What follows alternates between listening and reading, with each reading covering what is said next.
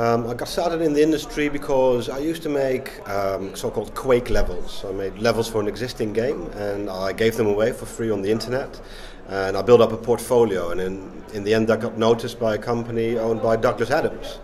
Um, and they liked what I did and they gave me a job as a level designer uh, at Covent Garden, working on Hitchhiker's Guide of the Galaxy which was great. And I thought all games companies were like that.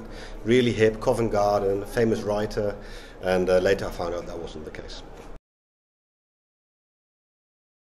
Probably a game called Doom by id Software.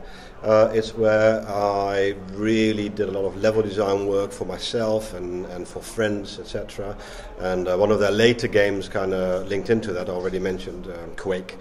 Um, and the reason why it was so influential is uh, they released free tools that allowed me to create new levels for the game and share them with friends. And that was just fantastic. Because for the first time, the internet got into play and you could give levels to other players. And that was it. Once you could do that, suddenly you could make a name around the world rather than uh, beaver away in your little corner somewhere. I was in the Netherlands, you know. There's no games industry in the Netherlands, but I could share these levels with people from all over the world and play them in the middle of the night and learn how to become really good at this stuff. And that's what I've done for a few years until, like I said, I had a portfolio good enough to work in London.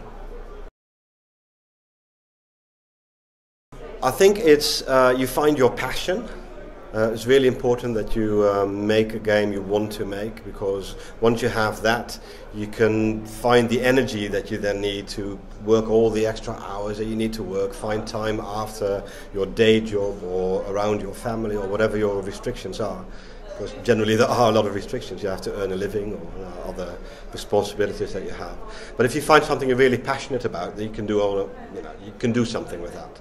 And uh, the other thing is uh, not to uh, try to do something too big you know, do some research. There are free tools everywhere now, and you can make uh, uh, games quite easily. But you do have to be realistic about what you can achieve.